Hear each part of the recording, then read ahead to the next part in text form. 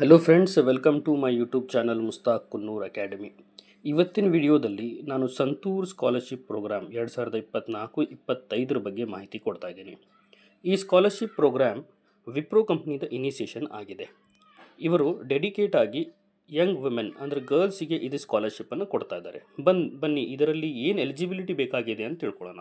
Very important first ಅಂದರೆ ಇದರ deadline ಬಂದುಬಿಟ್ಟು ಇದೇ ತಿಂಗಳ ಹದಿನೈದನೇ ತಾರೀಕು, ಅಂದರೆ fifteenth October twenty twenty four ಇದರಲ್ಲಿ ಯಂಗ್ ವುಮೆನ್ ಅಂದರೆ ಗರ್ಲ್ ಸ್ಟೂಡೆಂಟ್ ಅವರು ಅಂಡರ್ ಪ್ರಿವಿಲೇಜ್ ಬ್ಯಾಕ್ಗ್ರೌಂಡಿಂದ ಇರಬೇಕು ಮತ್ತು ಆಂಧ್ರ ಪ್ರದೇಶ್, ಕರ್ನಾಟಕ, ತೆಲಂಗಾಣ ಛತ್ತೀಸ್ಗಢ ಸ್ಟೇಟ್ಲಿಂದ ಬರ್ತಿರೋ ಸ್ಟೂಡೆಂಟ್ಸ್ ಇದಕ್ಕೆ ಅಪ್ಲೈ ಮಾಡಬಹುದು.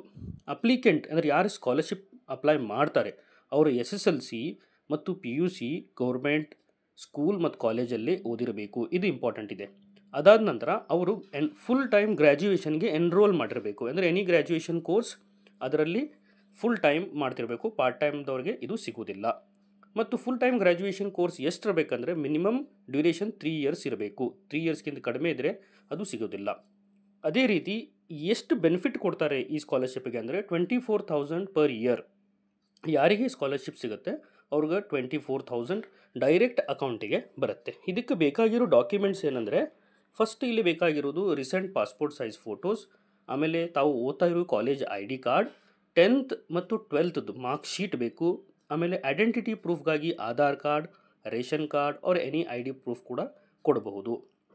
ಆಮೇಲೆ ಬ್ಯಾಂಕ್ ಪಾಸ್ಬುಕ್ ಕೂಡ ನೀವು ಕೊಡಬೇಕಾಗತ್ತೆ. ಫ್ರೆಂಡ್ಸ್, ಇದೆಲ್ಲ ಮಾಹಿತಿ ಸಂತೂರ್ ವೆಬ್ಸೈಟಲ್ಲಿ ಕೊಟ್ಟಿದ್ದಾರೆ.